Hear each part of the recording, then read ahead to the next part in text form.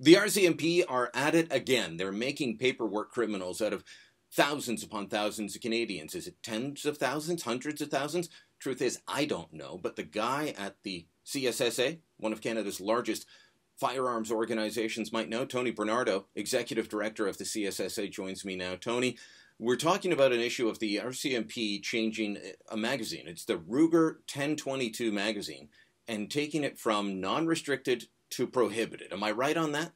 That is correct. Okay, so explain to people, especially those that not in the firearms community, uh, why this matters and, and, and what the what what actually happened. Tell us about this magazine, how widely used it is, and what the RCMP have done. Okay, so first of all, let's let's establish what we're talking about. The firearms were first imported in 1964 and continuously ever since. It is the most popular 22 rifle in the world. Wow. Magaz- these magazines started coming in 35 years ago, approximately.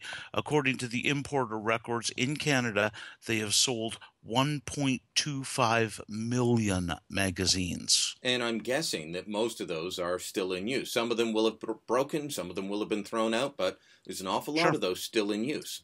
Absolutely, I, I would think that that at least a million of them would still be in use in various places. Now, in terms of the total uh, sales of the firearm itself, we're, we're dealing well into the hundreds and hundreds of thousands. This is the most common 22 rifle in the world, and I would hazard a guess that at least half to one third of all Canadian gun owners have one of these rifles. Now, They're very, very common. The uh, the call for greater gun control, be it restricting magazines or firearms, is always in the name of public safety do you have records of this particular firearm being used to commit crime on a regular basis? No, as a matter of fact, I, I don't know of any in, uh, time that this firearm's been used to commit a crime. I'm sure it's happened, given the fact that it's so common. But quite frankly, but people aren't holding up not, corner stores with no, and gas stations with this thing. No, not at all, not at all. This is a, a 22 rifle. It's it's used for small game hunting. It's used for uh, informal target shooting, things like that. So the RCMP have decided that the magazine for one of the the most popular 22 in the world uh, is suddenly too dangerous for Canadians to have, even though for most of my life, Canadians have been using this very same magazine. Why? Well, the reason being is that uh, approximately eight years ago, uh, the Ruger company introduced a pistol, and the pistol was designed around the magazine. Now, that's an important distinction that we have to make. The pistol was designed for the magazine. What the RCMP is claiming is that the magazine is now designed and manufactured for the pistol.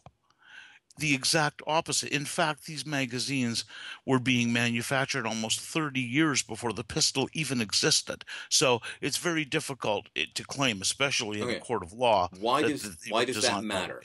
Why does that well, matter? Because you see, it says in the law, in Canadian law, that rimfire magazines, first of all, are exempt from this law if they're made for a rifle.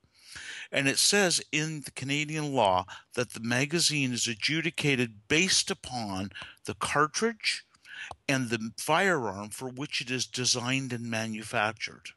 So That's this was clear. this was designed for the rifle 35 Correct. plus years ago.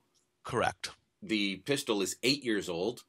Correct. How does the RCMP arrive at, at this? Did they not read the law? Is this a power trip? What's going on? We don't know. Uh, what we do know is that uh, this is absolutely ludicrous. These things have been sold legally in Canada for 35 years. There's no way on earth these things should be prohibited in any stretch. They're a 22 rimfire rifle magazine. That's it. So the, due to the directive, nothing's changed in the law, nothing's passed by Parliament, but due to the, the directive issued by the RCMP, if I own one of these things, am I now a criminal? And and if so, and I'm and I'm caught with one, what could happen? It, well, it, it's it's hard to say, okay, because you see, the opinion of the RCMP is nothing more than that. It's their own ridiculous opinion it would be tested when it went into court. Now, what the RCMP has done is they've sent a communique out to every law enforcement agency in Canada advising them that these magazines are now considered to be prohibited weapons and people should have them seized and they should be charged if encountered. Unreal. So, what kind of charge would you be facing? What kind of jail time for owning something that, let's say I let's say I'm an older guy and I bought this when it first came out 35 years ago. Uh, what kind of charge am I facing for owning something that I've had for 35 years with no incident?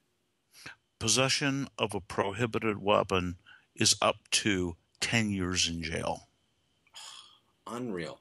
This is uh, this is why I got involved in the firearms issue, Tony. Uh, as you recall, several years ago when they started banning rifles like, like the Armi Jager, I think that was the first one I jumped on, saying, right hold on, this is an issue of fundamental justice. These are these are lawful possessions that people have had that are about to be seized. They're about to be made criminals uh, for no real reason. There's no public safety issue at play here, and the RCMP lab rats just come up with this decision on their own. I mean, was there any public consultation? Was there any incident that they point to that says this is why we need to make the change to protect the Canadian people?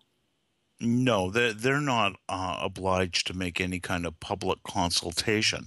And they would tell you that they didn't change the law, they changed the determination on a particular magazine. And I stress one more time this is only their opinion. However, they've issued this out to law enforcement agencies across Canada, and you can bet they will be acting on it, and people will face criminal charges. Well, if people do face criminal charges, we'll do what we can to raise money for the defense fund and uh, and mount a challenge because this can't be allowed to stand. And unfortunately, given the the current government stand on Bill C forty two, this was the common sense firearms law that allowed politicians to override ridiculous decisions like this. I don't see them changing it. That's I don't see them telling the RCMP to back down. No, they've already made in their campaign promise uh, a decision that they will allow the RCMP to make up firearms laws. It's right in the Liberals' mm-hmm. campaign promises. That now our association is doing something about it. We're not sitting there waiting for stuff to happen. Uh, we have uh, are in the process, I should say, of launching a legal action against the RCMP with our industry partners. Um, by the time this uh, this video airs uh, we will have launched this and the press releases will have gone out and we'll, of course we'll send one to you and uh, make sure you're informed of it uh, but we will be doing a canada-wide court action on this issue uh, well good somebody has to challenge it and i'm glad uh, that you are part of that as you say with your industry partners uh, all the yes. best in that tony and thanks for the time today always a pleasure brian thank you for your interest in this issue Thanks for watching. Click here to never miss a Rebel update. Want even more of the Rebel? Well, click here to become a premium member.